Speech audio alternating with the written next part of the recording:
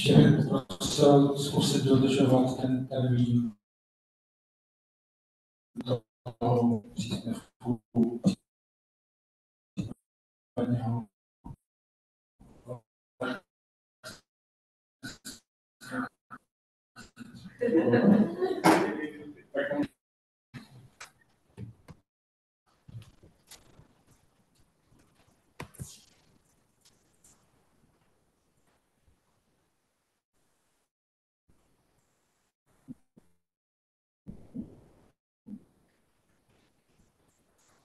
Tak,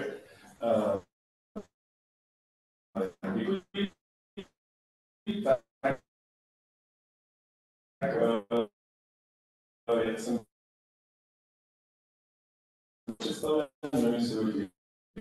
jak jsem si mě jaká, jenom rychle si ten příspěvek zkusím zkrátit. My se tady všichni bavíme vlastně o tom, jakým způsobem a jak se nejlepší. My jako firma se snažíme dlouhodobě pomáhat obcím a městům a vlastně na základě pasují do úplně všech měst. To znamená, vypíráme z těch eh, měst na základě dat. To opravdu, na těch městech je potřeba dělat. To znamená, eh, ne všechny dobré příklady, pokud je zvládneme psat do jiných měst, jsou ty správné, a proto tak je jedno z těch hlavních a klíčových témat, co bych tady každopádně my jako firma jsme 50 členný tým a, a vycházíme jenom ze zkušeností ze kterých příkladů by se mohli vycházet uh, z, ze zkušeností, co vlastně o nějakých 10-15 let. Všichni si klademe stejnou otázku na těch obcích a je to, proč řešíme odpady. Uh, Začnu tou nejzásadnější, a to je na městě vždycky řešeno, to znamená ta ekonomická ne, uh, vždycky je to otázka čísel, uh, kdy, uh, kterou bych jako chtěl podtrhnout, kterou tady všichni řešíme a myslím si, že v rámci těch prezentací, co jsem tady slyšel, je to hodně zná, je to ta ekologická část, ale všichni se teďka vlastně koukáme nejvíce na tu legislativní. V rámci té legislativní části víme všichni, kam směřujeme, a to je k roku 2030. a bude to pro nás zásadní, protože ty města v tu chvíli budou muset vydávat z rozpočtu nejvíce peněz, obzvlášť ta, která vlastně tu legislativu nebudou splňovat. A těch příkladů dobré praxe, kde bychom dosahovali 120, 110 a 100 kg na občana postupně, sice přibývá, ale pořád jich je velice málo. Pořád se pohybujeme přes 200, 230, 250 kg na občana a ty města a obce to vlastně v budoucnu teprve zasáhne. Kdo se na to nestíhá připravit, jako tamhle paní inženýrka, která, která skvěle, paní magistra Malře, která prezentovala skvěle, myslím si, že bude mít velký problém to dosáhnout.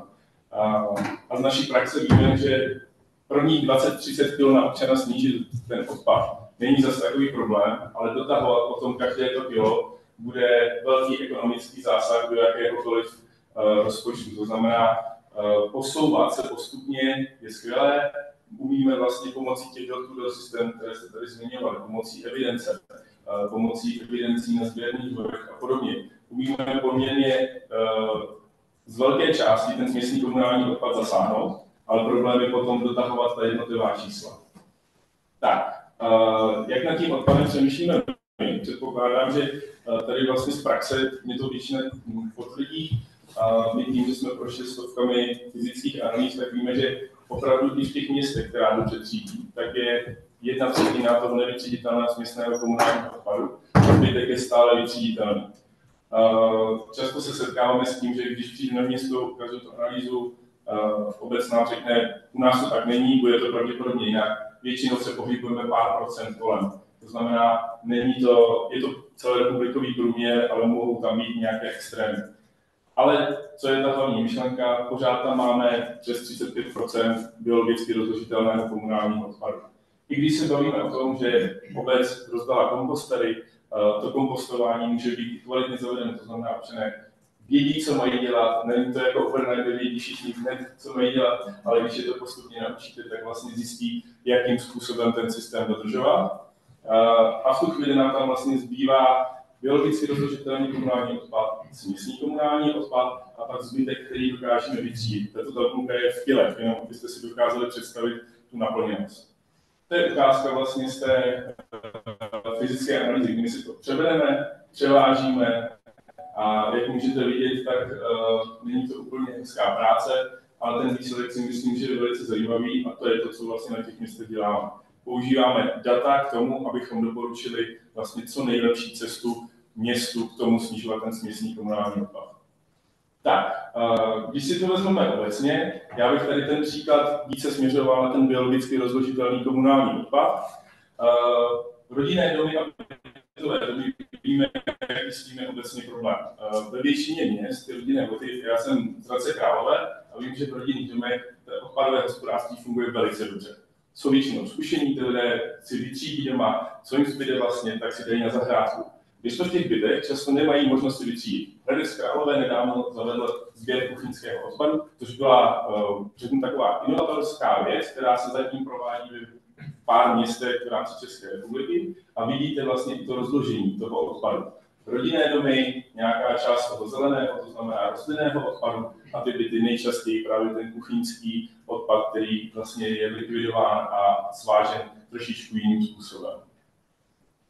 Tak, toto je vlastně ukázka toho, jak my se na tu uh, obec nejdříve podíváme. To znamená přes čísla ISPO, ECOCOM, fyzická analýza. Řekneme si, kde nás vlastně nejvíc tlačí ta voda a ideální stav je, pokud ta obec už má zavedený nějaký systém, nebo my ho můžeme případně eh, z toho systému vlastně tedy dostat. To znamená, pracujeme na základě nějaké evidence. Ve chvíli, kdy máme data, tak umíme řeknu, umíme doporučit velice dobře, kde zasáhnout ta největší čísla. Často mě obec řekne, kam přijedu, řekne, všichni už mají do na plasty. To je věc, kterou musíme nutně zavíst, ale ve výsledku, když zjistíte, co to vlastně udělá s tím systémem, jako to neovlivní natolik, aby vlastně ta čísla postupovala dál tím správným směrem. To znamená, uh, obec se často obrací na uh, dobrý příklad, ale třeba ve špatnou chvíli. To znamená, je důležité dobře si určit harmonogram postupných kroků. Tak, a, a samozřejmě to, ten přirozený koloběh toho odpadu je zrovna na tom biologickém odpadu krásně ukazatelný. To znamená, ať už je to jakákoliv položka, je to předcházení vzniku odpadu, využití, pokud ten odpad vlastně umím využít v rámci těch svých zahrad, a potom případně ten svoz který je v případě, že na těch zahradách už to nedostačuje, případně to ten kuchyňský odpad, který já si jako maso směle jídlo nemůžu. Um, nemůžu dovolit vlastně v rámci komposteru zpracovávat. A proto ten krok by měl být takový, že znovu vlastně se sbírám tento odpad, pošlu to na kompostárnu, bioplnovou stanici, tak aby ten kruh, vlastně ta cirkularita byla úplně uzavřená. Tak, a teď už přejdu k tomu hlavnímu, a to jsou příklady. Uh, jak už bylo řečeno, door-to-door systém. Všichni tady známe, vlastně už je to něco, co se umílá x let. Uh, ten door-to-door systém je dobrá věc, ale je potřeba v něm dál pokračovat.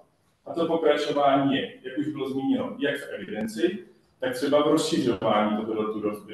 Často se nám stává, že uh, otázka na mnohých obcí, kde není uh, zavedená planifikace, je, uh, kam například dávat popel No, to znamená, některé obce už se snaží pracovat s popelem. Některé nám řeknou, podívejte, nemáme problém, plast, papír, zavedeno, co třeba sklo. A už se začínáme posouvat z tom door-to-door systému o krok dál, o dva, o tři. To je to, co vlastně my na těch obcích plánujeme. To znamená, v jaké části toho odpadového hospodářství oni jsou. A úplně jednoduše začnu od těch malých obcí, to znamená Lepová lázně, tam vlastně bylo zavedení pouze a zavedení jenom z, uh, evidence na směsný komunální odpad mělo poměrně velký efekt a bylo dobré hned na začátek. Ale ta obec vlastně musí pokračovat dál. Není to jenom door systému, jenom evidenci, ale měla by vlastně přemýšlet dál, co potom následně, až už ten krok zavedu. Uh, příklad většího města, uh, zde byla zavedena evidence jak na nádoby, tak na nádoby do do, to znamená plast papír, a i vlastně evidence na sběrný dvůr. Zde ta čísla ukazují, že vlastně i zavedení té evidence na sběrný dvůr je velice důležité eh, v rámci řešení jak podnikatelů, tak okolních obcí. A většina vlastně uh, malých obcí a městí má problémy. Uh, teďka nedávno jsem se setkal, jezdíme často do Kolína, mají tam čtyři sběrné dvory a nějakou jednoduchou systematickou evidencí si zjistili, že vlastně v tu chvíli, když otevřou všechny sběrné dvory komukoliv, tak ten odpad rázem obrovsky roste. A je to znát vlastně na všech těch městech, které tu evidenci a ten door používají. Tak, tady bych se posunul už o ten dál, a to je Chodov, ve kterém bylo vlastně zaveden door systém, evidence odpadu a třídění kuchyňského odpadu vlastně z bytových domů. Zde je vlastně vidět ten uh, meziroční pokles, kdy uh, v roce 2021 a 2022 ten směsný komunální odpad uh, v podstatě klesnul o 22%. To je něco, co je přesně potřebujeme. Uh, zajímavé vždycky je, že pokud se zavede jakýkoliv systém, tak není, uh, není to rovná se mezi směsným komunálním odpadem ubytkem a příbytkem v rámci těch nádob na třídění. To znamená, většinou se nám to nerovná, ale často se stane to, že eh, podnikatelé si řeknou, aha, už se do toho nemůžu asi pravděpodobně zapojovat, protože už je ten systém týden. Eh, a vlastně tyto příklady máme z, z měst většinou ve smyslu eh, městní komunální odpad nám například klesne o 100 tun, ale v rámci třídění nám to nabíde třeba 80-80 tun. To znamená, je tam určitá ztráta toho odpadu, což sice pro to město je ideální, ale vždycky si říkáme, kam ten kam ten odpad v podstatě mizí. To znamená, je to otázkou, jestli jsou to i okolní obce, nebo případně občané začnou ten odpad dávat tam, kam opravdu patří. Tak, a teď už se dostanu k tomu hlavnímu příkladu, což je sběr kuchyňského odpadu, eh, město Opava. Eh, na městě Opava vlastně ty systémy už byly zavedeny, poměrně dobře začaly pracovat i s evidencí. My jsme vlastně na základě čísel zjistili a fyzické analýzy, že pořád ještě je tam biologicky rozložitelný odpad v rámci domácností. Zavedl se vlastně sběr kuchyňského odpadu přímo z těch jednotlivých bytových jednotek a mezi ročně vlastně za ty, za ty dva roky od roku 2022 jsme vyzbírali 209 tun toho odpadu. Což vlastně pro Opavu znamenalo nesvážet v rámci směsného komunálního odpadu na skládku, ale odpad se vlastně dostal na bioplynovou stanici, kde je zužitkován. To byl ten cíl celého projektu. Jo, je to nastavení toho cíle, uh, říct si, jakým způsobem vlastně uh, ten svoz má být proveden, jaká je svozová firma a na konci si spočítat, jestli ten projekt uh, ekonomicky dává smysl, což je jedna z těch věcí, co jsme si říkali na začátku. Tak, a abych nebyl moc dlouhý teda, tak my vlastně v rámci těch měst a obcí děláme dvě věci. To znamená, máme Eh, službu ERK partnerství a ERK strategie, kdy s městem rozebereme ty jejich podmínky, snažíme se nastavit ten systém správně, doporučit jim to nejlepší, co dává smysl v rámci ekologie, ekonomie a samozřejmě legislativy. Eh, ne vždy to je běh na rok, dva, tři, ale pravděpodobně se dostáváme i do pět let a dál, protože eh, já rád říkám, že na městě, kde je vůle, tak ten projekt je poměrně rychle a snadno zaviditelný. Ale jakmile ta vůle není, tak my bojujeme nejen s obyvateli, ale bojujeme s, se zastupitelstvem, bojujeme se svozovou firmou a je to opravdu těžké